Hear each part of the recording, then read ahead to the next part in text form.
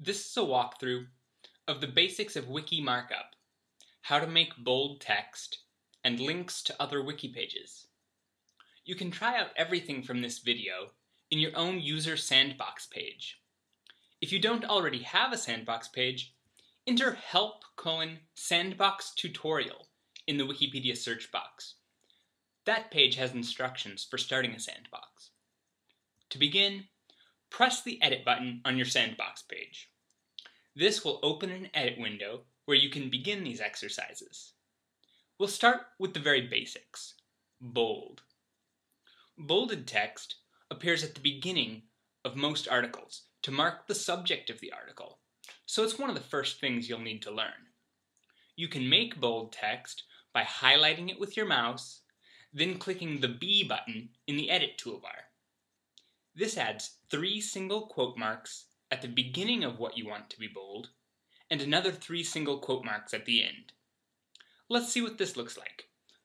Go to the bottom of the edit window, enter a brief edit summary to describe your edit, and press Save Page. It's good to get in the habit of leaving edit summaries every time you edit. It helps you keep track of what you've done, and it makes it easier to collaborate with others. You should have some bolded text on your test page now. Press the edit button and let's continue. This time, we'll make wiki links. These are links that go from one page on Wikipedia to another. Let's try it with the word bold. To create a wiki link, highlight the word, then click the link icon in the edit toolbar. This brings up the Insert Link dialog. Clicking the Insert Link button will add the code for a wiki link. Two opening square brackets, followed by the article you want to link to, in this case bold, followed by two closing square brackets. Now enter an edit summary and save. The word bold is now blue and links to the article about bold. Well, the article for bold is actually called emphasis typography, and that's where the link redirects us.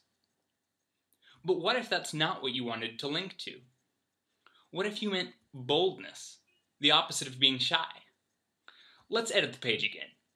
This time, in the Insert Link dialog, replace bold with boldness in the target page or URL section.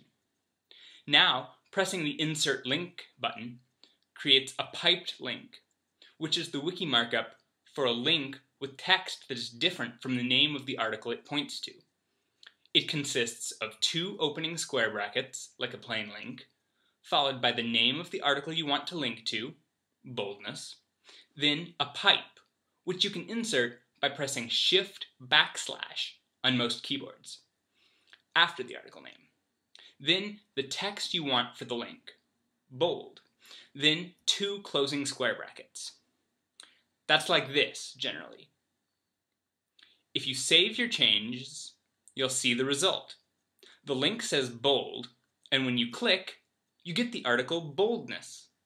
So go ahead, start editing. Be bold.